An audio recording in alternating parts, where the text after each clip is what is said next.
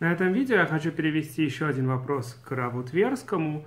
И, на мой взгляд, очень интересные и поучительные вопросы. И мне есть что добавить, без Раташем тоже.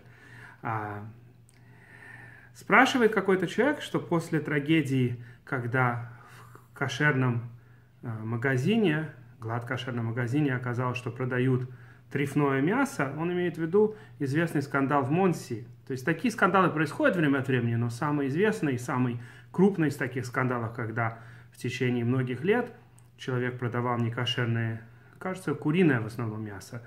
А, это произошло в Монси и открылось действительно несколько лет назад и шокировало, конечно, всех тех, кто до сих пор считал, что, во всяком случае, на хорошую ажгаху можно полагаться – там действительно была хорошая ажгаха, и сам человек, никто бы его не заподозрил в том, что он недостаточно соблюдает кошерность или что другим будет э, продавать некошерное мясо под видом кошерного, потому что он был действительно во всех отношениях человек, у которого можно было дома есть по Галахе. Он э, в своей синагоге был, кажется, и балкоре, и трубил в шофар, и давал шиур по дафьоме, то есть он был одним из тех людей, которых э, последними будут э, их, их уж э, заподозрить, заподозривать, что, что он что-то делает не так.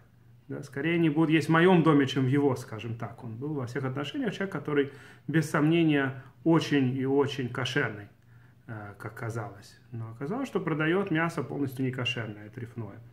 Вейлу, да.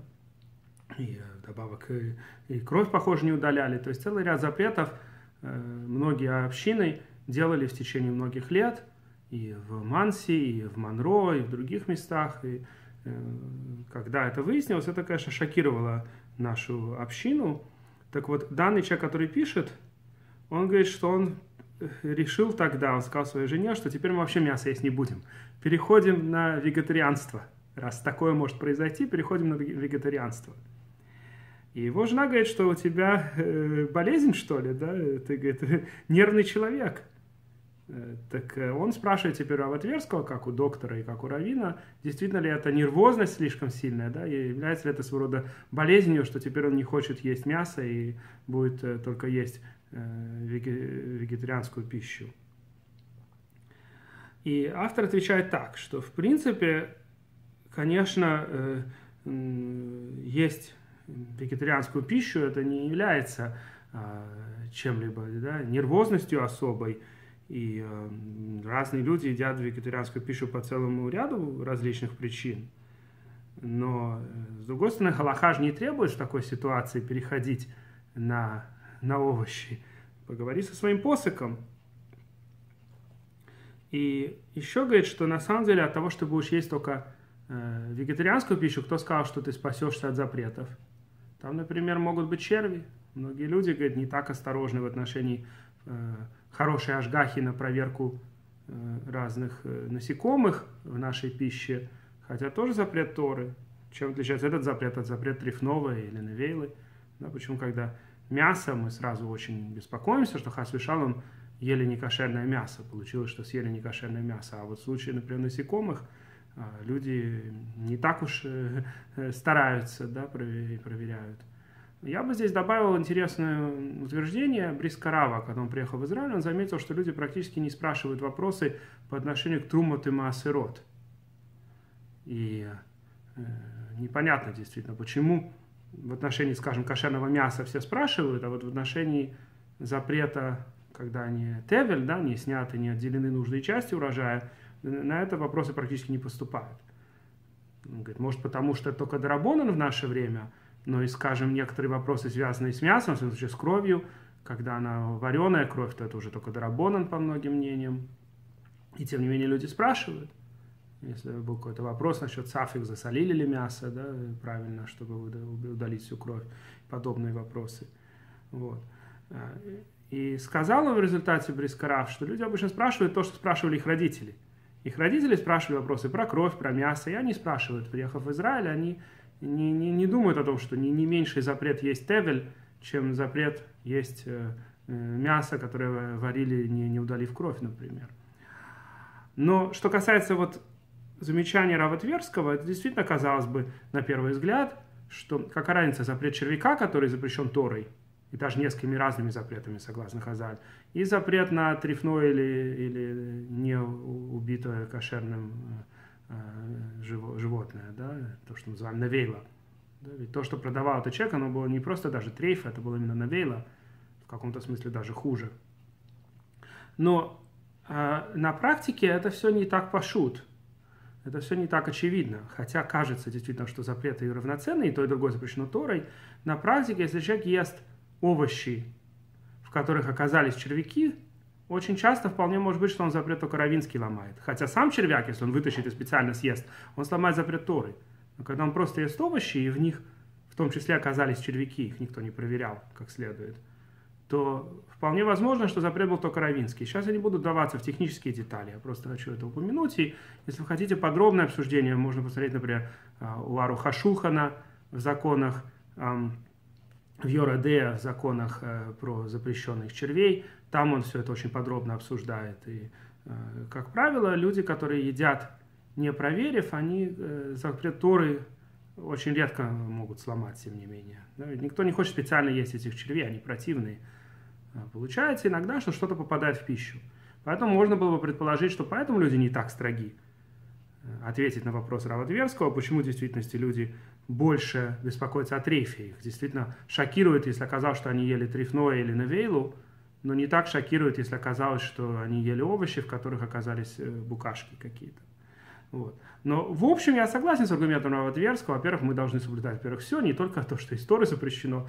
Во-вторых, действительно непонятно. Э, допустим, он перейдет на вегетарианскую пищу. Есть много других запретов, и даже не только то, что здесь упомянут, не только насчет, э, насчет эм, червей. Есть много различных запретов, которые человек может ломать в любом случае, э, если он ест пищу. Ну вот опять же, если это будет израильская пища, иногда попадает к нам израильская пища, и, допустим, там э, шмиту не соблюдают. Есть много разных запретов. Некоторые истории, некоторые дарабонан, некоторые есть диспут, они история или дарабонан.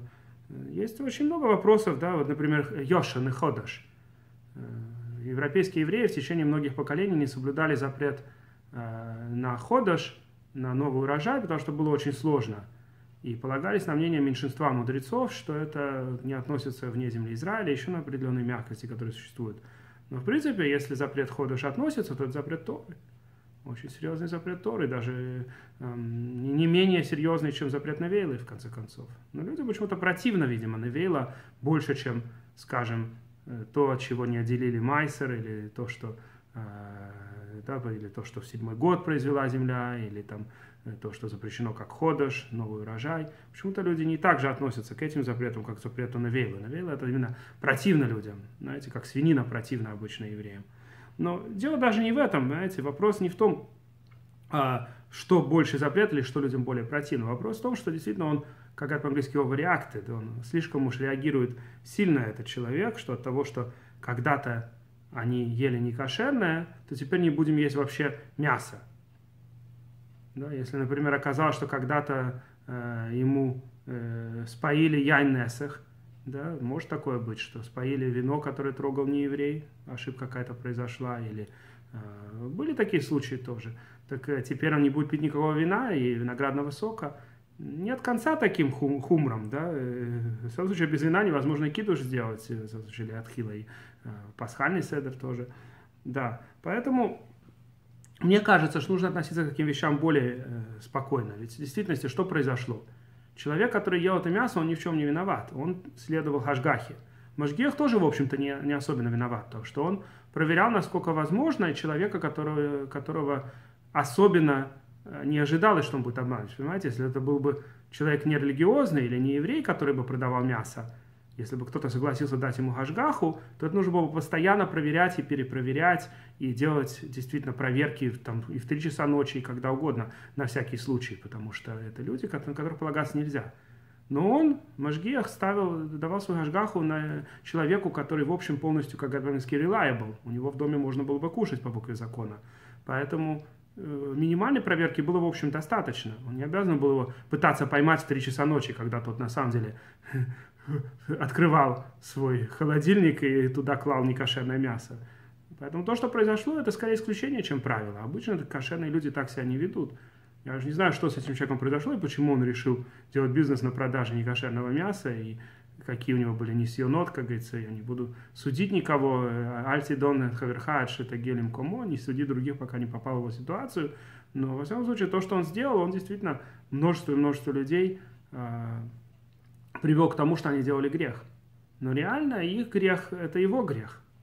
Они ничем не виноваты перед Всевышним. Они сделали все, что вообще требуется. С чем это можно сравнить? С тем, что, скажем, все мы в течение жизни хоть когда-то наверняка ели э, трефное. Почему? Потому что не все трефы проверяются. Мы проверяем только частые трефы, и Тора не требует проверять то, что очень редко. И даже раввины не требовали проверять миют шейна мацуй, то, что очень редко. Поэтому можно быть почти уверенным, что хоть раз в жизни, а, кроме как если ты большой праведник, тогда там вот говорит, что Всевышний специально тебя предохраняет. Но большинство людей хоть раз в жизни что-то дрифное съели. Даже если они родились в религиозной семье, я не говорю о нас, Балай Шува. Я говорю о людях, которые родились в религиозной семье, но за всю жизнь хоть что-то когда-то было трифным. Ну и что? По закону мы не обязаны, говорится, Тора не дана ангелам, служителям. По закону мы не обязаны проверять и перепроверять больше, чем требует закон. Поэтому в основном проверяют то, что часто случается. И то же самое верно насчет э, букашек, и то же самое верно насчет всех остальных запретов.